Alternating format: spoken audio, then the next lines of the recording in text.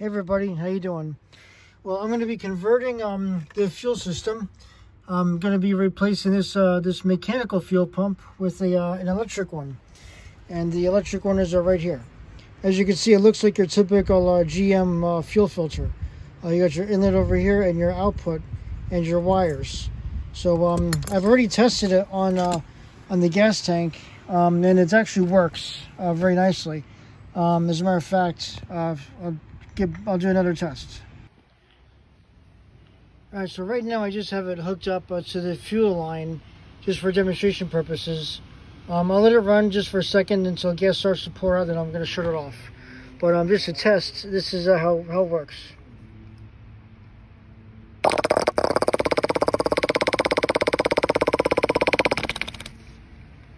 It works nicely. So um, so I'm going to start so hooking this thing up and um, disconnect the battery. So, uh, so yeah, I'll just, I'll disconnect this whole thing and um, make up my mounting bracket. Um, I just cut this uh, piece of metal here. So um, I'm basically going to um, have it mounted to where the uh, original fuel pump is and um, and bolt on like that. And uh, it'll be per it'll be mounted over to in place of that. So now that I have my metal cut out that, I'm going to make my bracket with, I'm going to um, take this gasket and uh, draw around it. Then after that's done, I'm going to take my uh, my fuel filter and um, put it over like this here. That way I can get a general idea of what my bracket is going to look like and I can start cutting around it. Yes, so I just draw this up. So this is going to be um, my mount after I get done cutting it all out and drilling the holes out. So now that I've made the, the bracket for the fuel uh, pump, these two are going to have to be drilled out. Uh, so this will mount to the block, and this is where the um, the screws will go to mount the uh, the fuel pump right to the bracket. Okay, so I just got done making a bracket for the uh, fuel filter, uh, fuel fuel pump rather.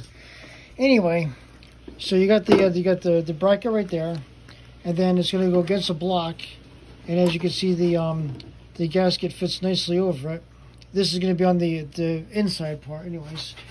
And then you've got your um, fuel pump. And it's going to go um, it's going to go this way. And um, it's going to go here.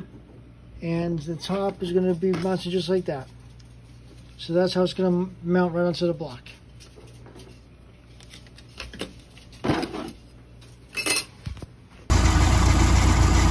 So as you can see, the boat is running nicely uh, in the yard. Um, I put the, um, the on-off switch here.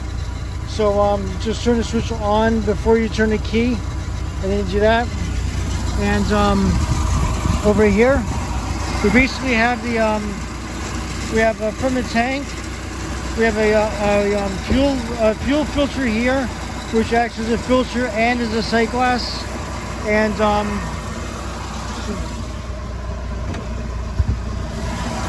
Sorry, but I put the seat up. So we got that. We've got the line going into the electric fuel pump right here.